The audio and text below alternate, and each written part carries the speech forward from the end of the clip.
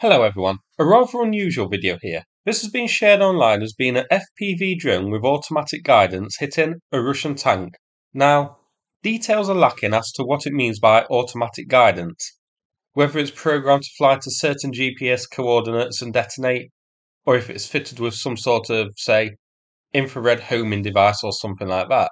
The tank is stationary on this video, but I can't really see a GPS guidance for a drone being all that useful, as it limits what it can be used against. So I think some kind of maybe heat-seeking infrared guidance is most likely.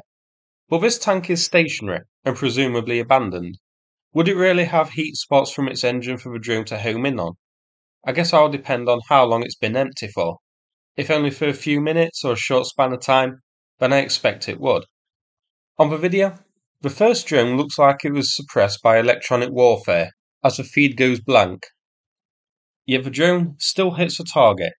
So this type of technology looks like it reduces the effect of jammers and the like. Now I wonder if rather than the type of heat-seeking tracker, it could just simply be programmed with a video memory of what to target.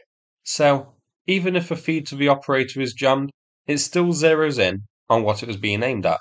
I'm not sure if that's possible or not. I don't know much about drones. I'll definitely be interested to see more of these, maybe against a moving target, see if it can still guide its way on and hit a vehicle moving down a road rather than one that's stationary. So let's see where this is. So the geolocation is on screen now. The tank was in these woods here. Zoomed out, you can see that this is located east of Terny and Yampolivka, west of Kreminna. Russia is carrying out an ongoing offensive towards Terny at the moment. Seen here, the tank was about three kilometres to the nearest front lines, and zoomed out, you can see it west of Kreminna as mentioned, a key area at the moment, and zoomed out here, on the eastern front, heading north. So that's it for this video. Hope you found it interesting. Now before we finish, a quick mention about the ongoing fundraiser with Rebirth Energy to buy a buggy for Ukraine's armed forces. The donation link is in the description. Thanks very much, and take care everybody.